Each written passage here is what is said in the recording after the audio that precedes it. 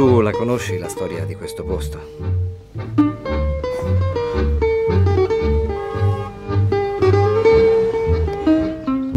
Questi prendo quel pulmino e non mi fermo finché non sono a mille miglia da qui. Inizia a risparmiare o non vai da nessuna parte. Ti ho portato la spesa. Che dici se raddoppiamo le scorte per la settimana prossima? E perché?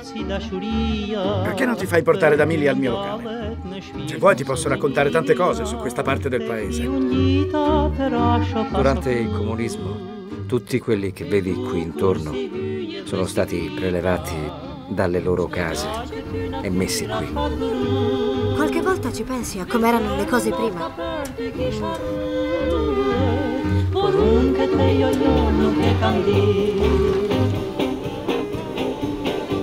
Io vorrei lasciarti il mio numero, ma tu non hai un telefono per chiamarmi.